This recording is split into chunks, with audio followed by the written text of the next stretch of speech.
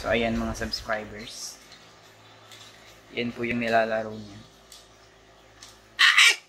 Mm, mm, mm, mm, mm, mm, mm.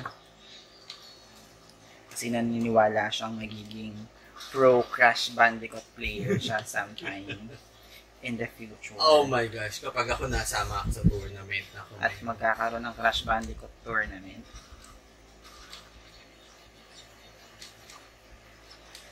Mhm. Mm. Ay, wala. So, ayun. Oh my gosh.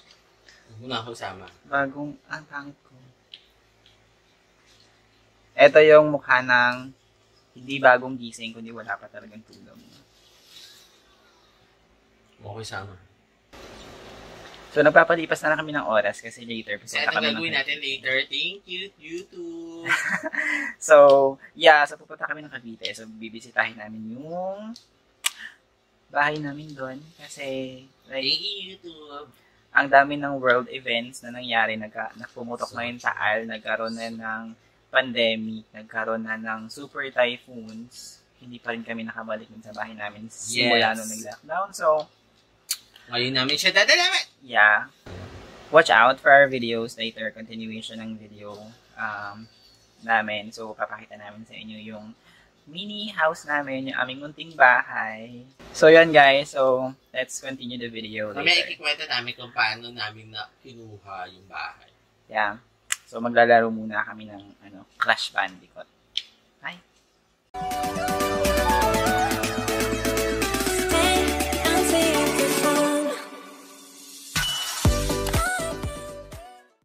Ito? Yung camera ko, alam mo, tingin ako ng tingin sa camera, pero pag plinay ko na yung video, hindi pa rin ako nakatingin sa camera. So, I hope nakatingin ako sa camera. Update. Update. So, nagbibihis na kami. Kasi, hmm, okay. Nag-release na kami kasi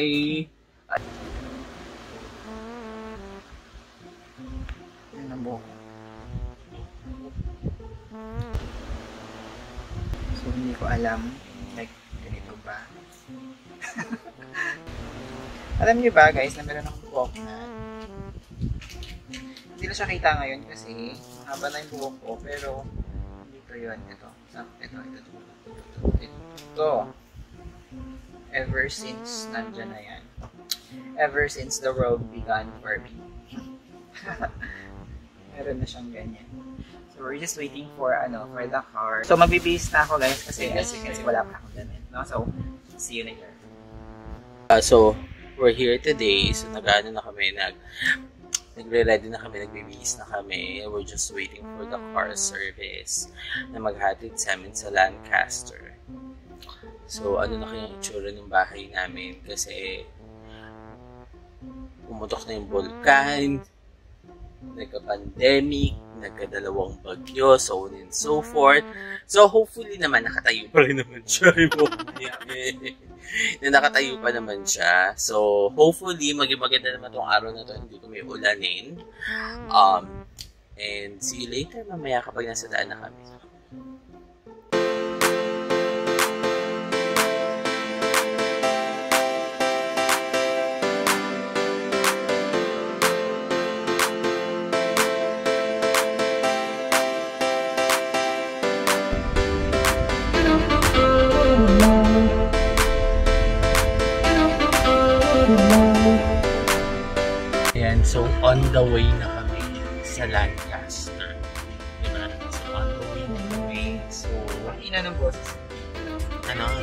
Hindi ah. So on the way na kami sa Lancaster. Papunta na kami sa Cavite. So, ay, hopefully talaga um, maayos pa yung bahay namin. Pero mamaya itutur namin yan. Nasa na tayo? Cavite na ba tayo? Nasa Cavite na tayo. Eh, ah. Hindi ko na alam kung anong part ito ng Cavite eh. Kung nasa Cavite na tayo.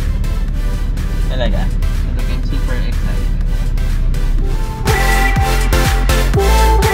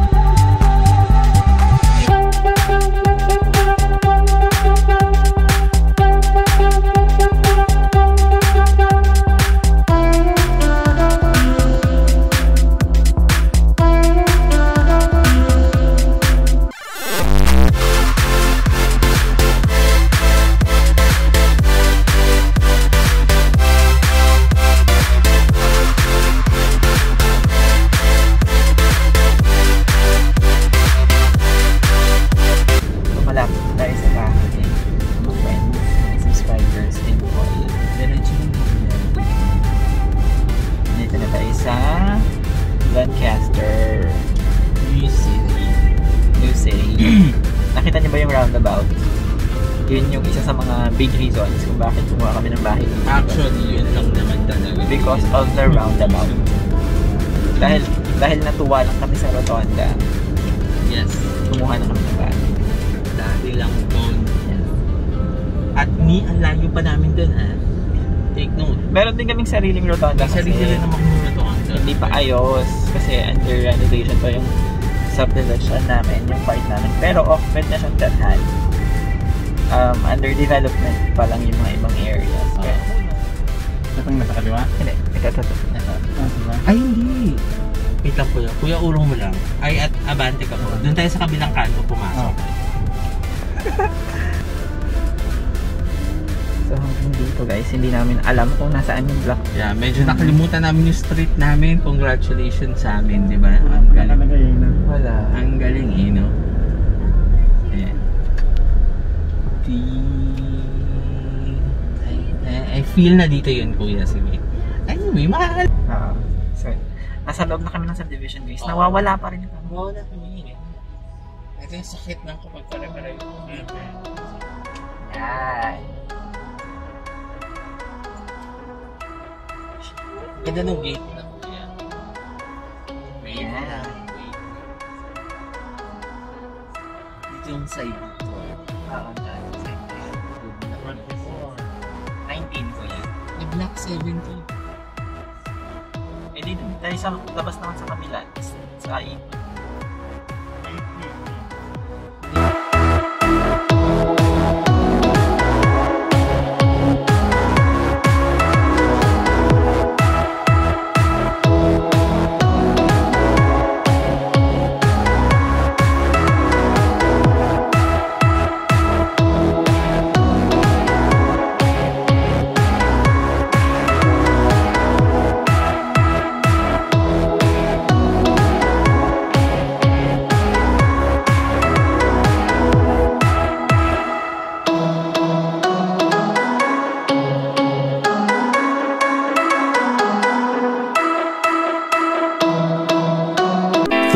Hours later.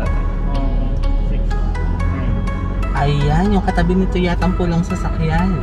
I told ya. Ito na, ito na yung kapitbahay natin. Namukha ko na yung kapitbahay natin. Ito na yun. Ito, ito, itong wala nakaparada. No? Yes! Oh, sigurado ka ba na yan? Bakit may basuka? Sagad din po yung katabi niya. Eh, malamang, walang, walang tao. eh. Kuya, Baka mamaya, bukas-bukas kami tapos hindi pala sa amin. So nandito na kami guys. Ay, good morning sa mga subscriber ko. So, nandito kami ngayon sa bagong bahay namin dito sa Cavite. So, i-house tour namin ulit kayo dito. So, thank you sa you. so, tara, pasok muna tayo. Go, pasok tayo. So, ito yung ano namin, yung, yung kuyuhan namin bahay. This is three bedrooms, two um, baths. So, ito yung una. So, ito yung pinaka-living room slash dining room. Tapos, natagal yung links. So, ito yung pinaka-living room. So, imagine ko na kung ano yung lalagyan natin dito. Diba? So, eh, ito yung unang bedroom. So, ito yung isang bedroom sa baba. So, parang, okay, siguro gawin na lang natin so sobra dun sa amin. Kasi isa lang yung mga pinitira dito. Pero may three bedrooms.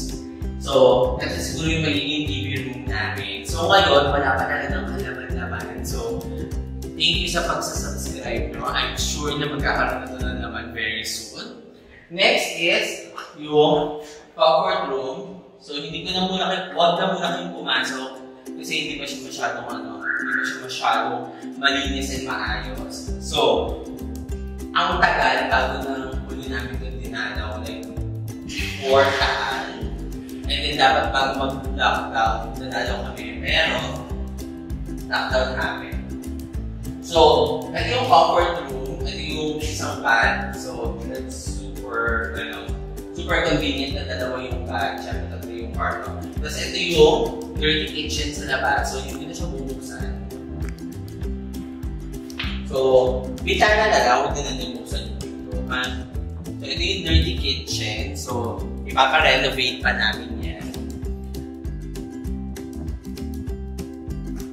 Makikita natin siya sa taas mamaya. Yes. So, ipapa-extend natin yan. So, ipapa-renovate Tapos, ito yung mini kitchen. So, as you can see, medyo maliit siya. Um, actually, maliit talaga siya. So, iurong namin siya papunta doon. Para doon. Para ma-extend yung kitchen. Tapos ito, possibly kakatanggalin kasi yun yung pinaka-unang kitchen nito. Okay, so tara, pakita tayo. So, nandito naman yung dalawa pa sa mga bedroom. So, I'm super happy kasi tatlo yung bedroom. Pero ang pinaka-masaya dito is dalawa yung bed. At ito yung pinaka-malaking bathroom sa lahat. So, wala pa kami pampabathtub, pero ito yung pangalawa, which is, Master's bath. yeah, super convenient kasi like, syempre, kahit tatlo lang kami tinira dito, syempre, hindi gagawin sa CR, di ba? Ay, kaya, kapag tayo. Alright. So, punta muna tayo dito. Kasi mas exciting yung kabila. So, ito yung isa sa mga room ulit. So, yung second room. Ito, ang laki niya. Malakad siya. So, ang thinking siguro yung closet. Ilagay natin dito. Kailangan ng maraming lugar para sa mga ano, sa mga damit ko. Eh, damit mo, syempre. So, ano ba, may nagtana na ba tayo dito sa kwarto na to? Guest room. Wala pa no, guest room, wala talaga. So ito, ito yung, yung pangalawang kwarto. So may ready na siyang mga outlets. Yung mga outlets na siya, meron na kaming kuryente, meron na kaming, meron na kaming tubig. Ang wala na talaga is yung mga gamit sa bahay since hindi pa rin kami dito nakatira. Taga Makati pa rin kami. So, ito yung pinaka-favorite kong room, Master's bedroom. which is the master's bedroom. So, smaller, pero kasi may pa-terrace siya. So, love, love, love ko yung terrace. So, kahit mas malaki yung kabila, mas gusto ko to kasi syempre meron ka, alam mo yun, yung like parang pagkagising mo, like gusto mo mag-coffee, sa labas, ayaw mo umalis. So, feeling ko, kapag ito yung ginawa natin kwarto, magkakaroon tayo ng mini fridge or mini like kusina para least makapag-coffee tayo sa labas mo. I love. Ayun. So, yan. Ayun yung mga neighbors namin. Ang dami kagad namin neighbor. Parang for the past nine months. Tayo hindi na pumunta dito. Parang ilan lang. Ilan parang yung neighbor namin. Pero ngayon, ang dami namin neighbor in fairness. And, again, tatakbo akong ano, homeowners president. tatakbo akong homeowners association president. So, sa mga makakapanood nito, the future na kapitbahay ko, please don't forget to Or nagkikilaw sila sa'yo. Hello! O, di ba? Ang nanais ng kapitbahay namin, di ba? May ready available outlets na rin siya. Yup. Oo, para dun sa dirty kitchen extension natin, yung plans natin. Yeah, very kitchen. So, hindi namin mabuksan yung pinto kanina, pero ito siya. Um, ayan. So, dyan siya. Bale, Ayan, ayan. Basta imagine. Imagine nyo na lang. Basta nakahati yan Tapos nandun yung kitchen. Tapos, dun sa part na yun, is parang dining table na lang. Um, sana. So, Yung overall natin kitchen dito. Yeah. Kasi like super liit nung kitchen for us. So super liit nung kitchen for us. So kailangan namin iurong kasi as you know, di ba, if you're a follower of me sa IG, um, we really love cooking. And we're also planning to bake. Di ba? Start to bake this 2021. So goal talaga namin is 2020, lilipat kami dito. Pero as you know, di ba, um, pandemic happened, Taal happened, like bagyo happened. So, syempre, hindi na namin na ano yun, hindi na namin na, na sa katuparan yun. So, hopefully, di ba, hopefully, 2021, makakalipat na tayo dito. Like, fully makakalipat na. So, thank you, YouTube, kasi I'm sure na, Mga guys, this is not yet katas ng. Pero, Yes, hindi pa, pero yung laman nito magiging katas ng YouTube. So ngayon pa lang, nag-thank you YouTube na ako. Yan. Diba? Ko sa ano. Yes, actually, um, para siguro to sa ano, sa sa ano namin to, sa mga nag-question ng pagiging call center agent lang. So, Yeah. actually, galing to sa call center um, sa BPO. Lahat to, itong, itong kwarto na to, kung kami nakakuha ng 3 bedrooms, 2 baths, may garage pa kami, and it's because of BPO. So, really, really thank you, BPO. Um, kasi Happy year. happy year? And so, please watch out sa pagta-transform ng bahay namin this Yeah. 2021 sa pag-unti-unti namin pagbuo ng mga kwarto, mga TV room, and so on and so forth. Siyempre, we're going to continue uploading and updating everyone kung nasa na yung home renovation namin. So, we already have a home. So, right now, papagandahin na lang namin. Thank you, YouTube. Thank you to our subscribers. So, please stay safe. Thank you. Bye everyone. Bye, everyone.